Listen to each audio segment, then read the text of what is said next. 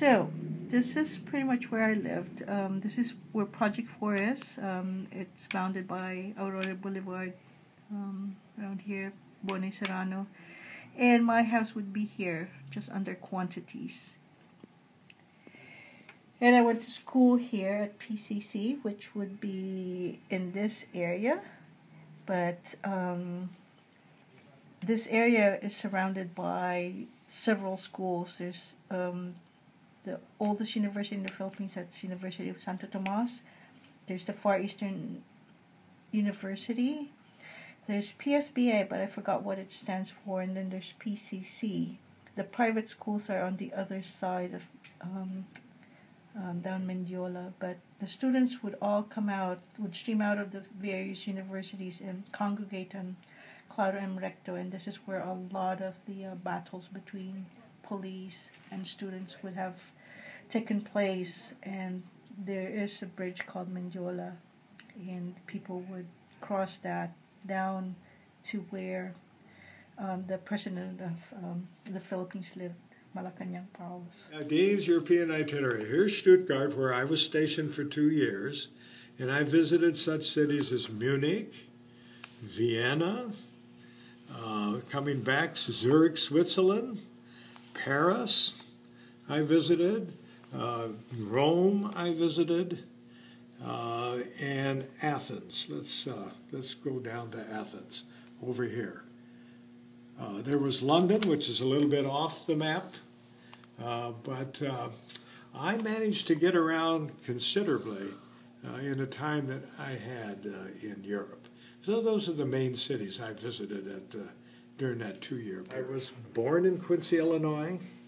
I went to school in the middle of Missouri in a town called Fulton, an all-men's college. I went to the University of Illinois uh, over on the eastern side of Illinois, and I spent 10 years working in Chicago from 1958 to 1968, and then I went all the way out to the West Coast, which seemed in 1968 to be a long distance uh, from my two immigrant parents who were not happy about me being so far away. Uh, now, I did have an Army career which took me to Arkansas and took me to Virginia and took me to New Jersey, right outside of New York, to catch a troop ship to Europe in 1954.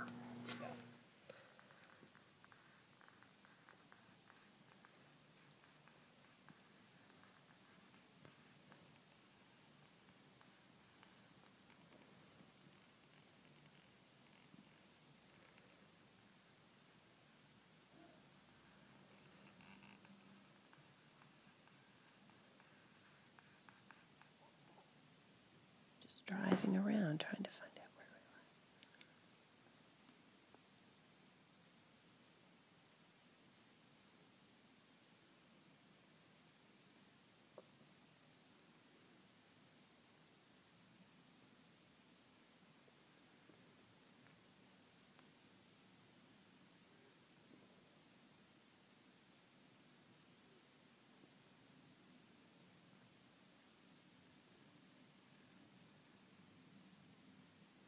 Yeah, and so I went to Bala. I think I got the bus to Wrexham maybe, and then my aunt picked me up. Bala's around here.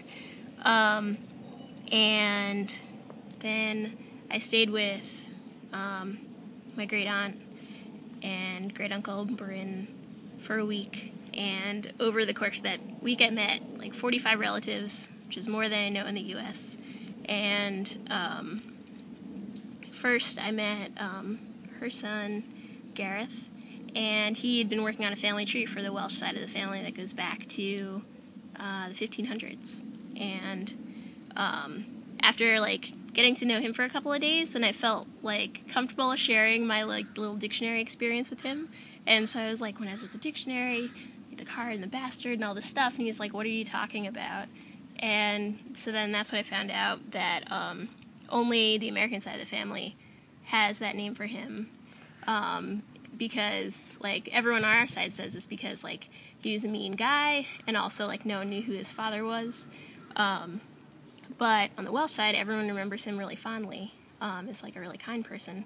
And so then he told me this story that um, my great grandfather was in medical school in Glasgow, in Scotland, and he was the first in his class.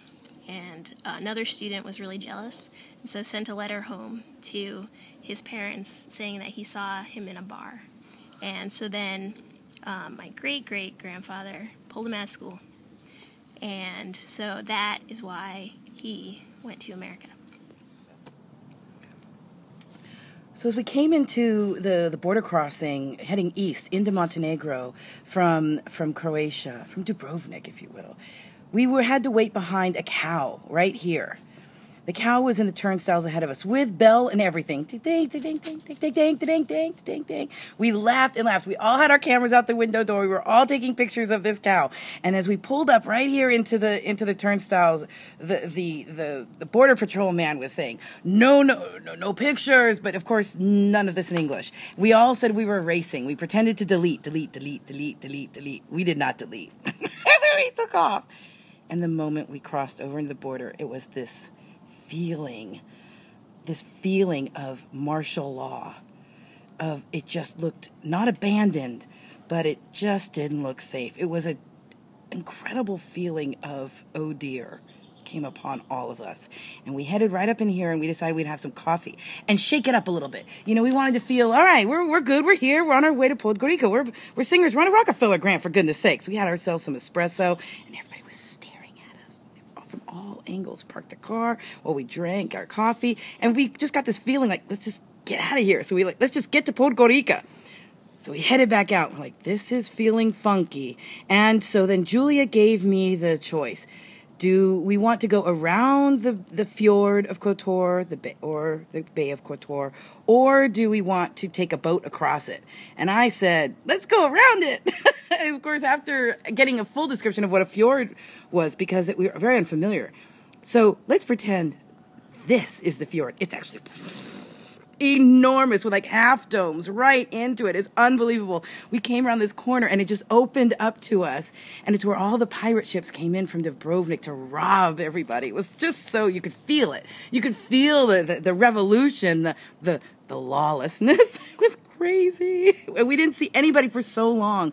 And we drove along this and we just loved it. Pomegranates hanging off the trees, monasteries everywhere. I don't know how they procreate in Montenegro because there's monasteries everywhere and stunning. The mosaics, just beautiful. And so we went all around the edge of the fjord. It's, you know, like four hours. uh, it was wonderful. There was two little islands. One was man-made because they thought they saw, the, the guys in the ships thought they, the seamen, thought they saw Mary, the Mother Mary's face in the in the rocks in the in the bed of the fjord, and so they started put, piling rocks on it for good for good measure, for for good luck, for blessings and prayers until they built an actual little island and then they put a monastery on it. So there were two monasteries right in the middle that we had all this incredible view of as we went around it. We did not go up all the little roads to the monasteries, but as we came around to the edge, right up here before we started to ascend up into what we learned were the Black Mountains, thus Montenegro, we came across Kotor. This is where I will have a honeymoon someday. This is absolutely stunning drove up onto the sidewalk. It was so unbelievable because just like Lord of the Rings with the with the castles embedded up into the walls, it was just like with these walls it zigzagged all the way up and all the lights went on at the same time and you could see the massiveness of this expansion up into the hills. It was so amazing. Architectural wonder, ancient history, absolutely mesmerizing. I drove up on the on the curb as I said. It was it was sidewalk. It was my best driving moment. We got back on the road because we knew we had a long way to go. And then we began to climb. And it was the Z, up and up and up into the Black Mountains. And the sun was going down and it was getting very dark. And the girls took a little nap and we got higher and higher. And then I started noticing we could only see on the very edge of the street, all we could see is a very tip of a huge tree. It was so steep. It was like just sheer down, and a lot of giggling on how scary it was. No, no, no road railings or anything. No yellow dots. No bot dots. Uh, we, we started all sorts of nonprofit uh, mission statements. You know, uh, we had um, uh, reflecting jackets for Bosnians. Pedestrian safety for Bosnia. Uh, pedestrian safety for Bosnians. Yes, we also had bot dots for Bosnians. Um, we would have liked some railings in uh, Montenegro. Croatia had all that, but you know, uh, Croatia is the sea. All right, so we got up to the very, very top, and there was an abandoned menace. Um, uh, monastery way up in here, and we we took our our regular uh, side of the car, P brake, and then it's at this point it's dark, and we are heading still. We still have a pretty long way to go. Our directions were not reliable. Leave it at that. And as we're driving, we're very quiet, and then all of a sudden there's just right along here, there is a red light, literally just lying in the street. Boom, red light. Nothing else. Just one big red light lying in the middle of the street. And I stopped.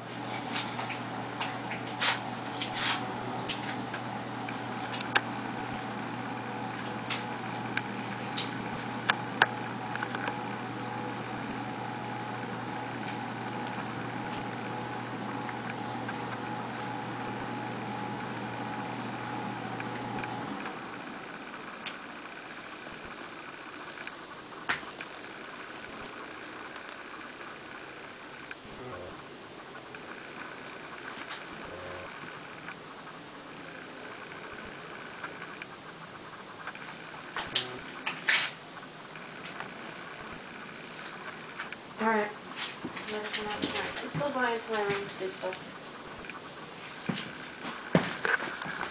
Hit it. I'm the same Ed Bonnewitt, and you heard my little story. We arrived in New York, worked our way up to Toronto. From Toronto, we went to Detroit, Detroit, Chicago, moved west to Kansas City, Salt Lake City, San Francisco, Los Angeles, Las Vegas. Highly recommended.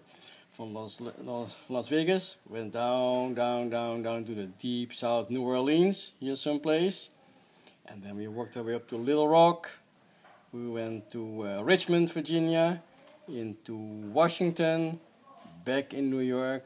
All this in less than 99 days for less than $99. Worth it. You go along. He was down, right down here was the kibbutz, and then we just worked ourselves literally through his. hu- Well, we went did go to Haifa, of course, and then we went, and everything took a couple of days, and we stayed. We went to Netanya, to Tel Aviv, which was a nothing city at the time.